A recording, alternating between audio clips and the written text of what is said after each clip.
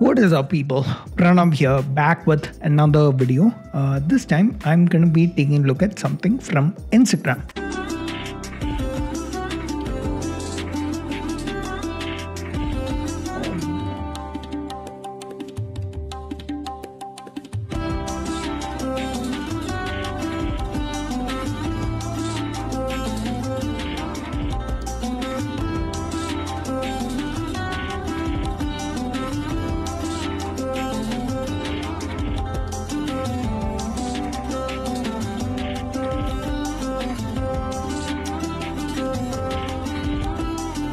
Yeah, I think I've seen enough. So basically, what this video is teaching is how to smoke your vagina, and uh, that is an ancient technique. Apparently, this looks like some ancient Ayurvedic practice. That's what it uh, says in the uh, caption. And see, this is exactly why we have modern medicine. Because back in those days, we didn't know exactly what to do for certain conditions and we would randomly we would shoot in the dark hoping to hit the mark.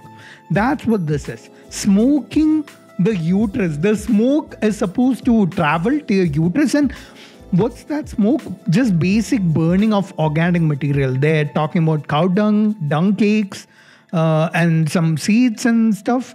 Like, what is this? If there's some specific mechanism that they talk about, how this heals conditions in the uterus, yeah, this would be more believable. But without that, I would far more. I would recommend much more highly just going to modern medicine and figuring out what exactly your medical condition is and healing yourself or treating yourself through modern medicine rather than this thousand year old technique. And this is probably also very harmful to you.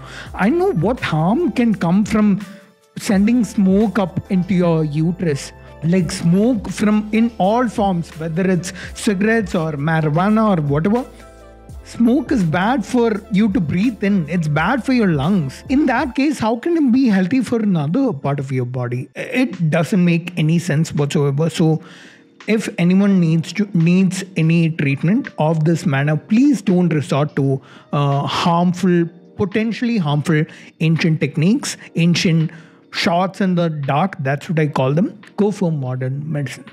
That's it. See you in the next one.